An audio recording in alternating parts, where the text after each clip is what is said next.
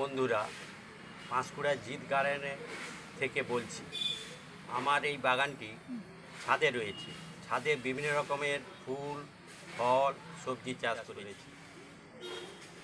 সেই সবজিগুলোর মধ্যে আমার সবথেকে প্রিয় সবজি যেটা সেটা হচ্ছে পাতাকপি বা বাঁধাকপি। এই বাঁধাকপি কীভাবে চাষ করা হয় সেটা আমি ভিডিও একটা করেছি। এই ভিডিওটা আপনারা পুরো লক্ষ্য করুন। খুব সহজে বুঝে যাবে চাষ করার পদ্ধতি। প্রথমে আমরা বাজার থেকে চারা, প্রথমে আমি বাজার থেকে চারা নিয়ে এই দুই ইঞ্চি সাইজের ছোট ছোট চারা, যে চারাগুলো পাতাকপির চারা। পেছনে কাদা লেগে আছে, মূল লেগে আছে, আর এই ছোট ছোট চারা। এই চারাগুলো সাধারণত দুর্গাপুজোর পর পনেরোই অক্টোবর থেকে একত্রিশে অক্টোবরের মধ্যে এই চারাগুলো নিয়ে এসে বসাতে হবে। তাহলে এই পাতাকপি আপনারা সত্তর থেকে আশি দিনের মধ্যে খাওয়ার উপযোগী হবে যেটা খেতে পারবেন। প্রথমে আমরা এই চারা কীভাবে বসাবো সেই বিষয়ে আমি প্রথমে বলছি। প্রথমে এই চারাটি ছোট্ট তিন ইঞ্চি পলিথিনের প্যাকেট বাজার থেকে নিয়ে আসবে। নিয়ে এসে ওতে ফুটো করে দেবেন তিন চার করে ছোট্ট প্যাকেটের মধ্যে চারাটি বসাতে হবে। এই চারাটি বসানোর আগে মাটি প্রস্তুতি করতে হবে। মাটি প্রস্তুতি করার সময় ফিফটি পারসেন্ট গোবর বা কাউ ডাং বলে গোবরের শুকিয়ে যে গুঁঠো হয়, সেই গুঁঠোকে জলে ভিজিয়ে এইগুলো হচ্ছে কাউ ডাং। এই কাউ ডাংকে ফিফটি পার্সেন্ট নেওয়া হবে। এইগুলো জলে ভেজানো ছিল কাল। তারপর আজকে তুলে নিয়ে এসেছি। এরপরে এগুলোকে গুঁড়ো করলাম। এখানে আমি দেখানোর জন্য একটা গুঁঠে গুঁড়ে নিলাম। নিয়ে ওটাকে সুন্দরভাবে গুঁড়ো করলাম। আর ফিফটি পার্সেন্ট মাটি। এই চাষের উপযোগী মাটি হচ্ছে দোঁয়াশ মাটি। মাটি এটা দেখলে বুঝতে পারছেন দোঁয়াশ মাটি। ফিফটি পার্সেন্ট দোঁয়াশ মাটি এই কাউ কাউটাঙ্গের উপরে দিলাম। তারপর সুন্দর করে হাত দিয়ে মাটিটাকে মেশাবে তাহলে ছোটো চারার মাটি প্রস্তুতি কি? না ফিফটি পার্সেন্ট কাউডাং এবং ফিফটি পার্সেন্ট দোঁয়াশ মাটি।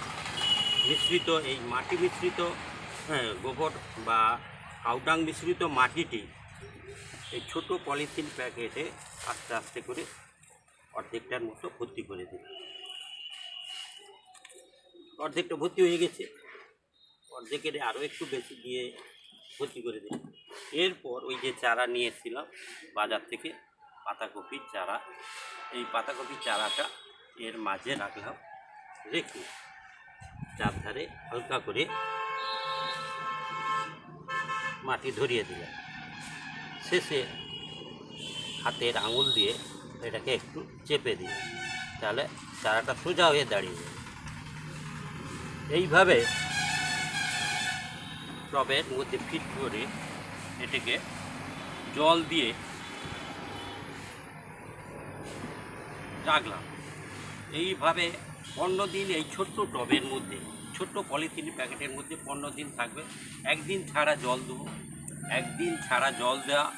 তাছাড়া যদি ওই সময় মাত্রাতীত বৃষ্টি হয়, কারণ অক্টোবরের শেষের দিক তো বর্ষা থাকে, অনেক সময় বৃষ্টি এই চারা নষ্ট করে দেয়। তাই যখন বৃষ্টি হবে, সেই সময় এই ছোট টবে বসানো যে চারাটি, পলিথিন প্যাকেটে বসানো যে চারাটি, এটি শেডের মধ্যে রাখতে হবে। নাহলে কিন্তু বৃষ্টিতে বেশি জল পেয়ে নষ্ট হয়ে যায়। এবং এরপরে আমরা পনেরো দিন পরে এই ছোট পলিথিনের প্যাকেটে থেকে বড় টবে আমরা চারা ফিট করি। পনেরো দিন এতে ট্রিটমেন্ট নিলে সুন্দর এই চারা সে করে এসে যাবে, তরতাজা হয়ে যাবে, আগের থেকে একটু বড় হবে। বৃদ্ধিটা কম হবে কারণ এখানে শুধু মুঠো করে আছে। বাড়ার বা খাওয়ার যেটা, সেটা বড় টবে রয়েছে। পনেরো দিন পরে এখান থেকে সেই বড় টবে তারা চেঞ্জ করব। বড় টবে চেঞ্জ করার পদ্ধতি দেখাচ্ছি। পনেরো দিন এই ছোট পলিথিন প্যাকেটে থাকার পর গাছের একটু বৃদ্ধি হয়েছে। গাছের শেকড় এসে গেছে। আগের থেকে গাছটা তরতাজা হয়েছে। এই পলিথিন প্যাকেট থেকে এই বড় টবে যারা শিফট করব এই টবের ইঞ্চি তিনেক নিচে লেভেল পর্যন্ত মাটি ছিল। ওই মাটিটা আমি এখানে রেখেছি। সেই মাটির সাথে এই টব থেকে পাতা, পচা সার, জৈব সার এটা দিয়েছি। সাথে সাথে কিছু শিংকুচো গুঁড়ো দিয়েছি। এই দুটো জৈব সার পাতা পচা সার এবং শিংকুচোর জৈব সার হিসাবে দিলাম। এরপর খুব কম পরিমাণে রাসায়নিক সার দিতে হবে এই গাছে। এই রকম পরিমাণে এটা আঠাশ আঠাশ শূন্য গোমর সার এর মধ্যে ছড়িয়ে দিলাম। সুন্দরভাবে মাটির চারদিকে ছড়িয়ে দিলাম। তারপর এই লাল সার যেটা, এটা ওর অর্ধেক, গোমরের অর্ধেক পটাশ সার এটাও এর মধ্যে ছড়িয়ে দিলাম। ছড়িয়ে দিয়ে এটাকে আমরা বেলচা দিয়ে সুন্দরভাবে মিক্সড করলাম।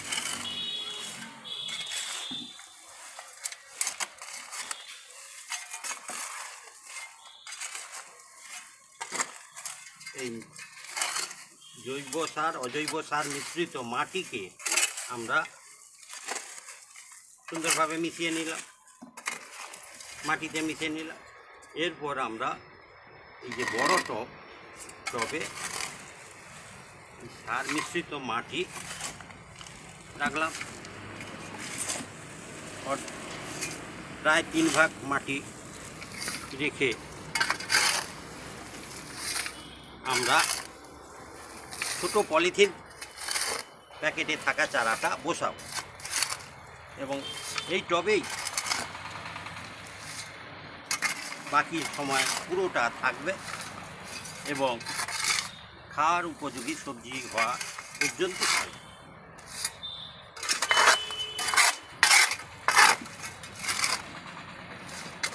প্রায় তিন ভাগ হয়ে গেছে। পুরো মাটি ভর্তি করব না কেন? না, গাছটা যখন বৃদ্ধি হবে, বড় হবে, এখন প্রয়োজন মতো আর অল্প যে পেস্টটা রয়েছে হাইট সেখানে আমরা মাটিগুলো দেবো। এই চারাটা এখান থেকে আমরা এখানে শিফট করে বসাবো। টবের মাঝখানে সুন্দরভাবে চারাটি বসানো হলো। তারপর হালকা করে কিছু জল এর চারধারে দিয়ে দিলাম। এই বড় টবে শিফট হওয়ার পর একদিন ছাড়া জল ওই অল্প অল্প দিতে হবে, পুরো মাটি যেন না ভিজে। তাহলে বাড়তি যে জল, সেটা আস্তে আস্তে মাটিটা ভিজে যাবে। এইভাবে ভিজতে থাকবে। একদিন ছাড়া জলটা দিতে থাকব, গাছটা আস্তে আস্তে বড় হতে থাকবে। হুম, এবং সাথে সাথে সপ্তাহে একবার করে সর্ষের খোলকে পচিয়ে তার জল আমরা এই গাছের গোড়ায় দেবো। গাছটা এক মাস এই পরে আমরা আকারটা অনেকটাই বড় হয়ে যাবে, যেটা টবে আমার হয়ে গিয়েছে। দেড় মাস পরে পাতাকপি গাছটি সুন্দরভাবে বৃদ্ধি ঘটে এই পর্যায়ে এসেছে।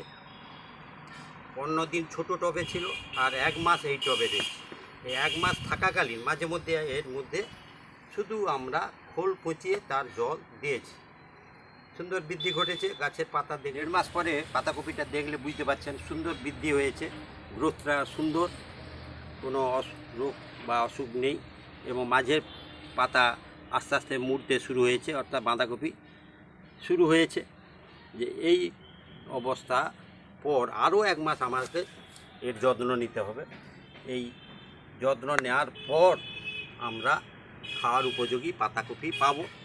আরও এক মাস যত্ন নিতে হবে। নেওয়ার পর পাতাকপিটির আকার আকৃতি আগের থেকে অনেক ভালো হয়েছে, খাওয়ার উপযোগী হয়েছে। আজকে এই সবজিটা তুলে নিয়ে যাব। এই দেড় মাসের পর থেকে এর নিচের দিকের যে পাতাগুলো, সেগুলো ছাড়িয়ে দেওয়া হয়েছে। আর কি করা হয়েছে? না, মাটির উর্বরতা বাড়ানোর জন্য নিম পাতা ছিঁড়ে এখানে দেওয়া হয়েছে। এই এছাড়া সপ্তাহে একবার করে খোলকে পচিয়ে তার জল দেওয়া হতো। এছাড়া আর অন্য কিছু সার এতে দেওয়া হয়। এইভাবে আপনারা চাষ করলে বাড়িতেই বাঁধাকপি বাড়িতেই করতে পারবেন, শুধু বাড়িতে নয়, বাড়ির ছাদে তৈরি করতে পারবেন এবং এই কফি সম্পূর্ণ জৈব সার থেকে তৈরি হওয়া। কোনো রাসায়নিক সার নেই, কোনো পেস্টিসাইড ব্যবহার করা হয়নি। মাটির উর্বরতা বাড়ানোর জন্য নিম পাতা দিয়েছি ওর ফলে অপকারী ব্যাকটেরিয়াগুলো মাটি নষ্ট হয়ে, মাটি ভালো হয়েছে। এবং সম্ভব হলে আমি দিয়েছি যেটা, যে নিম পাতাকে গরম জলে ফুটিয়ে সেই জল ঠান্ডা করে সপ্তাহে একবার করে ওই নিম পাতা জল মিশ্রিত জলকে স্প্রে করে আমরা এইভাবে আরও এক মাস যত্ন নেওয়ার পর খাওয়ার উপযোগী হয়েছে। আজকে আমরা এই পাতাকপিটা কেটে নেব। খাওয়ার জন্য আমি কেটে দেখাচ্ছি। গোড়াটা বেশ যথেষ্ট মোটা হয়েছে, ছুরি দিয়ে গোড়াটা কাটলাম। পাতাকপি আকারটা দেখুন, অনেক ভারী, এক কিলোর বাইরে ওজন। হ্যাঁ এর যে নিচের পাতাগুলো, বয়স্ক পাতাগুলো ভেঙে দিলাম।